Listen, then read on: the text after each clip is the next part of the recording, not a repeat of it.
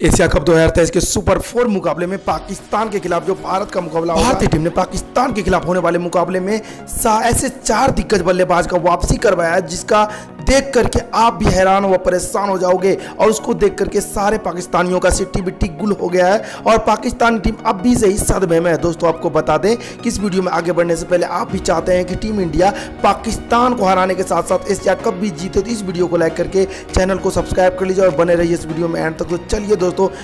विस्तार से बात करते हैं और बताते हैं आपको कौन से वो खिलाड़ी हैं जो प्लेइंग इलेवन में शामिल है सुपर फोर मुकाबले के लिए पाकिस्तान के खिलाफ। चलिए दोस्तों, बात करते हैं दोस्तों, जैसा कि आप लोगों को पता है। एशिया कप के मैच नंबर तीन में पाकिस्तान और भारत का मुकाबला हुआ, जिसमें कि भारत और भारत और पाकिस्तान के बीच खेले गए शानदार मुकाबले में बारिश ने खलल डाला और बारिश के बावजूद भारतीय टीम ने दो रन बनाए थे, जिसके जवाब में पाकिस्तानी टीम बिना बॉल खेले इस मैच को रद्द कर दिया गया था और दोनों टीमों के बीच एक एक पॉइंट बांट दिया गया था। वहीं पे बात करें दोस्तों, भारतीय टीम का अगला मैच का तो उसका नेपाल से मुकाबला हुआ था, जिसमें कि फिर से बारिश ने खलल डाला था, जिसका मुकाबला टाई तो नहीं हुआ दोस्तों, लेकिन भारतीय टीम को तेईस ओवर में एक सौ पैंतालीस रन का टारगेट मिला, जिसको रोहित शर्मा और सुमन गिल ने चेज कर दिया। दस विकेट से भारतीय टीम को जीत मिला था दोस्तों। वहीं बात करें पाकिस्तानी टीम को तो वो बांग्लादेश को टीम को, बांग्लादेश की टीम को हरा करके पूरे जीत से लबरेज है दोस्तों, आपको बता दें कि मामूल हक और मोहम्मद रिजवान ने शानदार बल्लेबाजी कर पाकिस्तानी टीम को बांग्लादेश के खिलाफ जीत दिलवाया था, और वहीं पे पाकिस्तानी टीम जहाँ पे जीत के रहा रहा वहाँ पे भारतीय टीम भी